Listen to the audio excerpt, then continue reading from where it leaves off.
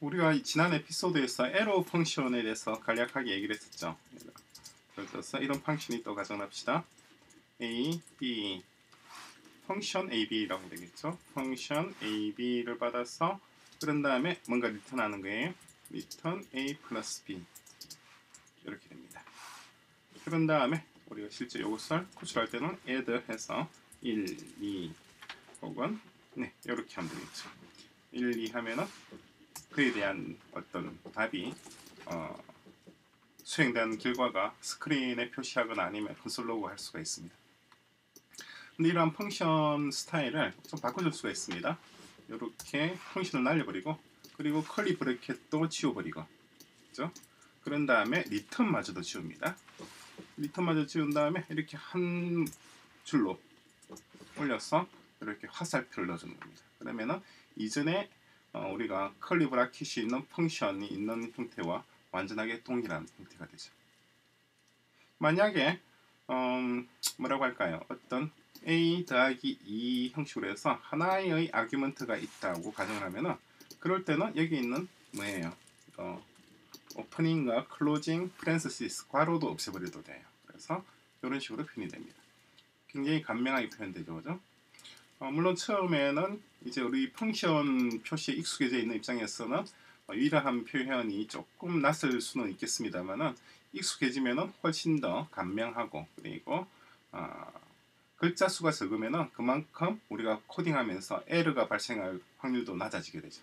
따라서 앞으로는 가능한 이러한 에러 펑션 에러가 뚱뚱한 에러 화살표다 해서 팻 에러라고 얘기를 합니다. 어, 이렇게 이러한 에러 이게 원래 우리 에러 에러잖아 화살표잖아요. 근데 그렇지 않고 이퀄 기호에다가 이렇게 부정어 넣어서 팻 에러 다른 예도 있습니다. 다른 예도 하나 더 살펴보도록 하겠습니다. const에서 마찬가지 이번에는 numbers equal 2, 4, 6, 8이 있어요. 그리고 이것들을 우리가 지금 이제 어, map, 방, map function이나 다른 걸 써서 numbers 해서 map. 또 괜찮고 find나 우리 이전에 배웠던 여러 가지 array helper method를 쓸 수가 있죠. 그래서 이제 많이 썼던 것이 우리 function하고 그런 다음에 number 죠. number 받아서 그런 다음에 return.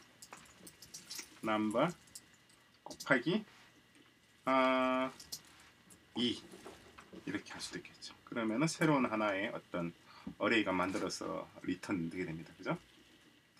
이때 우리가 이제 arrow function을 써서 어, 이것을 간명하게 바꿔줄 수가 있습니다. 첫 번째 에 보면 첫 번째입니다. 첫 번째는 펑션이라고 하는 말을 없애는 겁니다. delete delete 펑션 키워드 키워드 이걸 없애는 거죠. 없앴죠.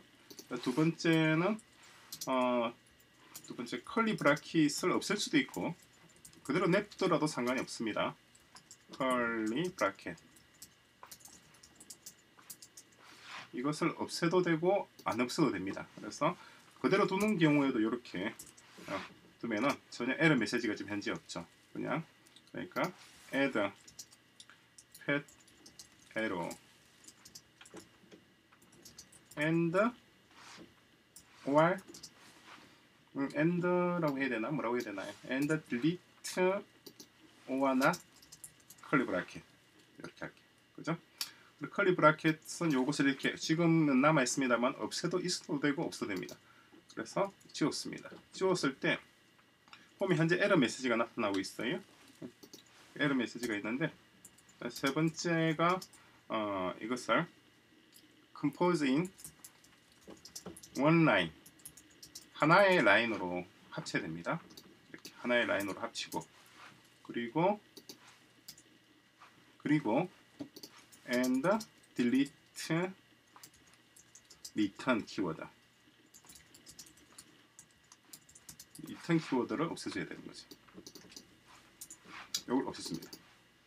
자, 없애줬는데도 불구하고 여전히 에러 메시지가 나타나고 있습니다. 그렇죠? 네 번째 단계입니다.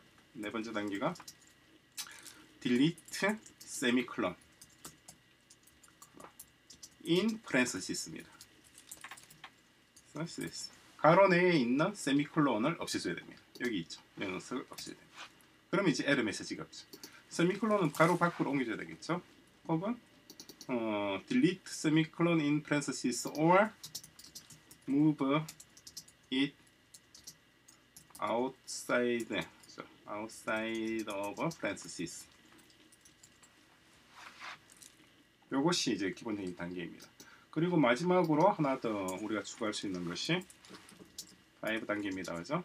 delete or not 됩니다. parentheses of 뭐예요? parameter. parameter에 있는 괄호를 치워도 되고 안 지워도 됩니다. 지금 같은 경우에 이렇게 지울 수가 있죠. 치우면 좀 더 compact한 표현이 되죠. 그죠? 아주 깔끔하게. 그러니까 이렇게 arrow function을 가장 예쁘게 쓸 수 있는 곳이 바로 이렇게 어, array의 어떤 helper method. array뿐만 아니라 다양한 helper method에서 이렇게 쓸 수가 있고 그리고 우리가 이제 어, 이 JavaScript 수업에 이어서 어, 두 개의 수업을 진행을 합니다. 이 수업이 끝나게 되면은 JavaScript 수업에 이어서 script에 이어서 두 개의 수업 이거는 좀 이따 표로 보면서 제가 말씀을 드리도록 하겠습니다. 다음 섹션에서 서두에 말씀을 드릴게요. 어쨌거나 이렇게 할 수가 있고 그럼 argument가 없는 경우도 있습니다. argument가 없는 경우 그런 경우 그냥 return 2만 어떤 경우에도 2만 return하겠다. 이런 경우도 있을 수 있겠죠. 이것도 지금 문법적으로 아무런 이상이 없는 그러한 문장입니다. 물론 의미는 없죠. 어떤 숫자를 받아서 어떤 수를 받든 간에 다 2를 return하겠다. 그러면은 여기가 2, 2, 2, 2가 되겠죠. 그런 array가 하나 만들어지게 됩니다. 그죠? 그런데 어떤 경우든 간에 어, 지금 같은 경우는 해당이 되지 않습니다. 전혀 해당이 되지 않는 상황입니다만 어떤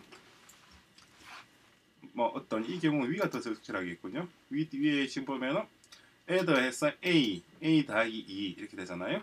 그렇지 않고 그냥 여기서 2를 리턴하겠다. 이걸 이름을 카스터를 뭐라고 할까요? return two라고 하는 const를 하나 만들겠습니다. 만들어서 얘는 무조건 하고 뭘 받든 간에 return two를 호출하게 되면은 2를 이렇게 return하는 거예요. 그럴 땐 argument가 필요가 없죠. 그죠? 그럼 argument가 없어도 될 거 아니에요. 그럼 지우겠습니다. 지우면 이렇게 에러 메시지가 발생합니다.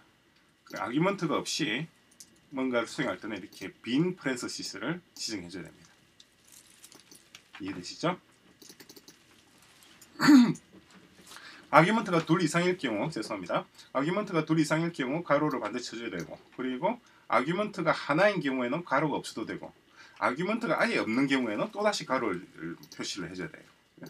이걸 좀 처음에는 어 약간 팁이었어. 약간 조금 뭔가 헷갈릴 수가 있습니다. 그런데 어 여러 차례 앞으로 우리 접할 거예요. 여러 차례 접하다 보면은 자연스럽게 여러분들의 몸에 이게 착 달라붙게 될 겁니다. 그러면은 아주 예쁜 코딩이 가능하게 됩니다.